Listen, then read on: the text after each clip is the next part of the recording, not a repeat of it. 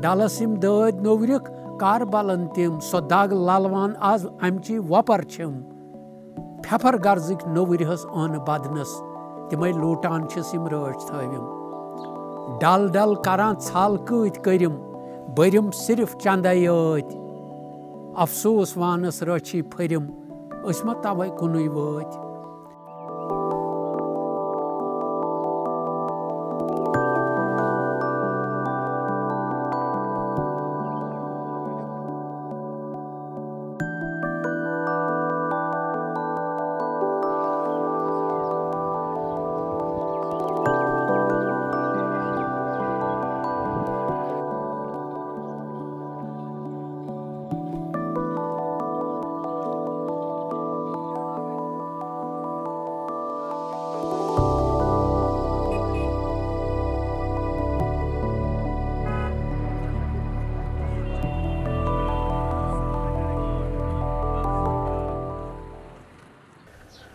देखिए, डल लेक में बहुत सारे रिसोर्स है वाटर रिसोर्स जो है, मगर उसको जितने भी अथॉरिटीज़ अभी तक आई है, उन लोगों ने उसको ख़त्म करके एक डल को चोक कर दिया हर एक कॉर्नर से। बंद कर रखा है डशे डब्बे में बंद है।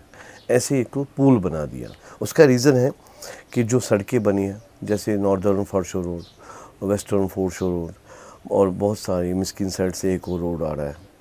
और जटियाँ पाथवेज बहुत सारे बन गए डल, झील डल, जो इंक्रोचमेंट बहुत सबसे बड़ी इंक्रोचमेंट मैं उसको मानता हूँ, जो सड़कें बनी हैं, डल, झील के अंदर जो बिछाई गई है।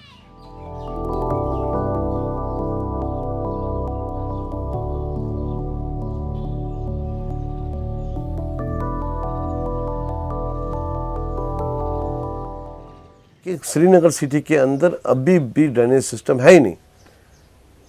हम चाहे वो फोर स्टार हाउस हो फोर स्टार कोई भी हो थ्री स्टार किसी के पास बड़ा से बड़ा बंगला क्यों ना हो?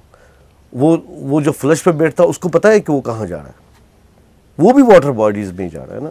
क्योंकि we don't have STP whole Srinagar या पूरी कश्मीर के अंदर अभी एसटीपी है नहीं एक्सेप्ट पेरीफेरी ऑफ़ जो डल लेक का ये निशात से ब्रेन में एक है और दरगाह और यहाँ से रैनावाड़ी की साइड से। दो, चार, पाँच ऐसे ही लगे। मेरे पास आर है, मैं आपको दिखा सकता हूँ। I have report on are मैंने किया हुआ इसके ऊपर आर और जितनी कंस्ट्रक्शन गवर्नमेंट ने की है, मुझे नहीं लगता कि उतनी कंस्ट्रक्शन किसी और ने की। जिसने, उसने वाटर बॉडी को कन्वर्ट किया है इनलैंड मॉस सड़कों, सड़कें बना दी। इतनी इतनी बड़ी सड़कें बना दी। उसके ऊपर किसी को नज़र ही नहीं है कि कैसी सड़कें बनाए हैं ये सड़क कितनी बर्बादी है डल लेक के ऊपर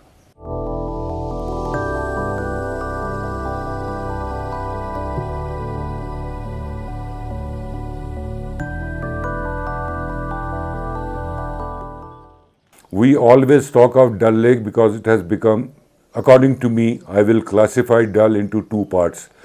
One is a very beautiful Dal which we portray on our calendars, on our tourist maps, and that is the boulevard side. And tourism is there, and VIPs are living on that area, so we assign a lot of importance to that part of the lake. But the part of the lake which passes the interior city, the congested habitat of Naupora, Dhaulatabad, Jogi Lankar, Naidiar, Shaibag, and Sadakadal that congested part has to be taken care of. That is the part at this time where sewage is also coming. That is the part where the uh, delineation of the boundaries has not been properly done. That is the part where encroachments do happen and they are to be removed. So government has to really work hard on that and uh, delineate the lake on that side. Work on the western foreshore uh, road which they have now said they will go as an overhead bridge. So once that is done, things will be much more better.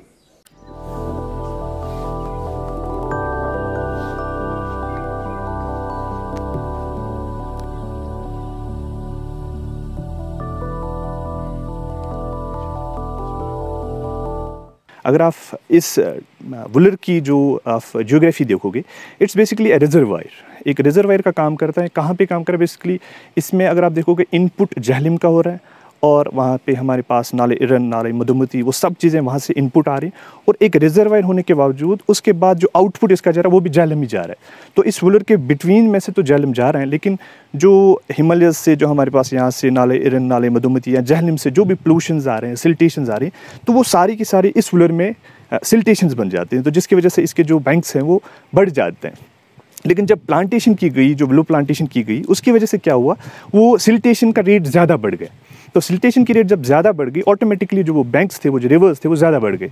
जिसकी वजह से अगर हम देखेंगे तो water जो था, वो नीचे चलता गया। तो इसीलिए अगर आप देखोगे, इसको रामसर साइट लिया गया। इसको अभी हम कभी कभार we don't talk it as a take it as a lake we basically take it as a wetland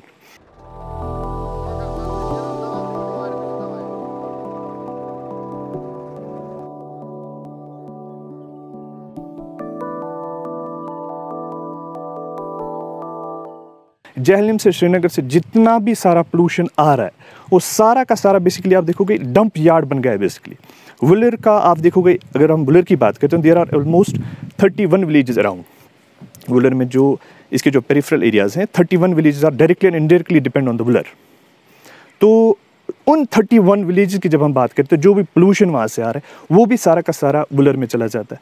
और in in addition to that अगर हम देखेंगे, हमारा जो जहलिम से पोलूशन आ रहा है, जितना भी श्रीनगर से, सोरा साइड से, जहाँ से भी आप देखोगे, सारा का सारा पोलूशन वलूर में आ रहा है। और रूरल में आने से क्या रहा है, वो पेरिफरल एरियाज़ में चला जा रहा है। जब जैलिम से आ रहा है इनपुट हो रहे हैं वुलर में, और मार्शी एरियाज़ हैं, वो पीछे पीछे चला जा रहा है, जिसकी वजह से पेरिफरल एरियाज़ है, जो साइड एरियाज़ है, वो पोलूशन वहाँ पे फंसता जा रहा है। तो जिसकी वजह से ये जो आ, मुझे लग रहा है कि वो भी एक रीज़न है जिसकी वजह से इसका जो वो डिक्रीज़ हुआ है जो एक जियोग्राफिक हम एरिया के हिसाब से देख सकते हैं।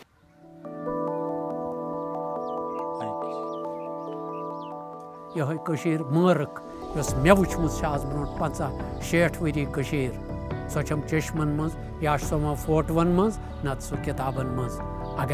अत वन हत ये अंद नजरावन सैर गसान यह तुज कम इन वाल नसलन इन चीजन सन ये गलत वुचन तथन अथ रुकावन मे बसान वंद चल शीन गल बे